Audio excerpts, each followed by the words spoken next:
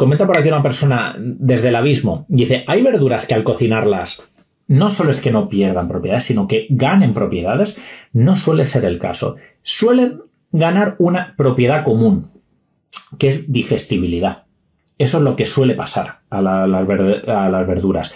Pero lo que es ganar nutrientes, lo que es ganar nutrientes, no, eso no suele ser lo típico. De hecho, eh, el cocinado es eh, calentar y cuando tú calientas sueles destruir nutrientes.